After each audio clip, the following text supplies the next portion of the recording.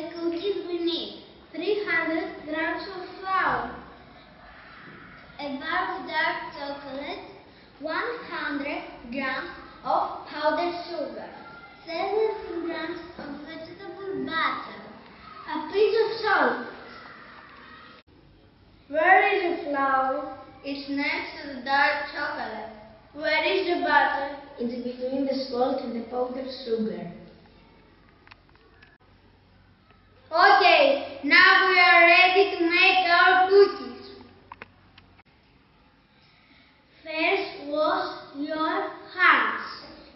The dark chocolate in big pieces. Put the flour in the bowl. Add the butter, the sugar, and the salt in the bowl.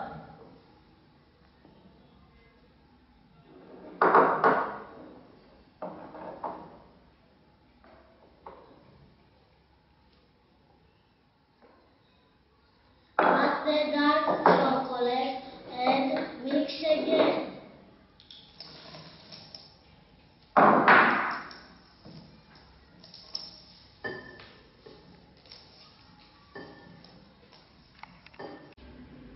Add 100 ml of juice and mix.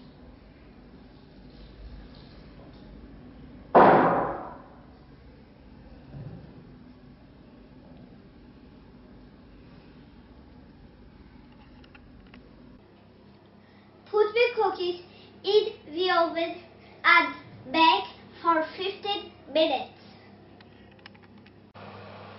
They are ready. They smell nice.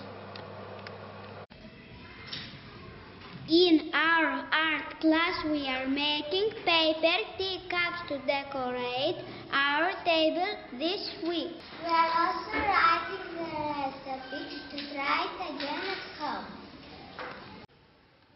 We have got our cookies and our tea ready.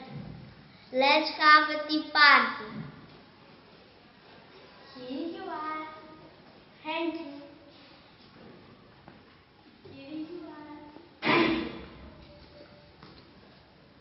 Thank you.